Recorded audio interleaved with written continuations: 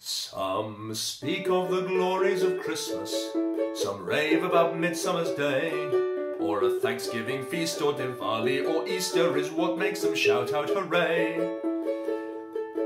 But today is the day that for me is the most special of all. It's that magical time of the year, as you all will recall.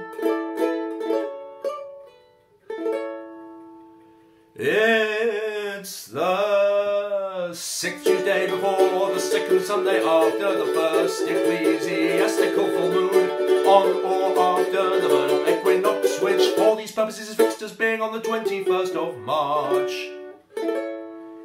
International Talk Like a Pirate Day, Hedgehog Awareness Week, World Penguin Day, Pie Day, thank someone, it's Friday, these aren't the occasions I seek. Can't contain my excitement, I truly think I must vent or bust. And it's just 83 sleeps till the first Monday following Pentecost. Cause it's the sixth Tuesday before the second Sunday after the first ecclesiastical full moon, on or after the vernal equinox, which for these purposes is fixed as being on the 21st of March.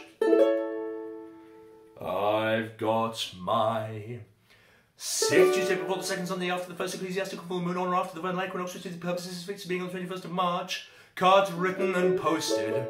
The traditional sixth Tuesday before the second Sunday after the first ecclesiastical full moon on or after the vernal equinox, which for these purposes is fixed being the 21st of March. Meals ready to go. Gather round by the fire, listen out for the choir.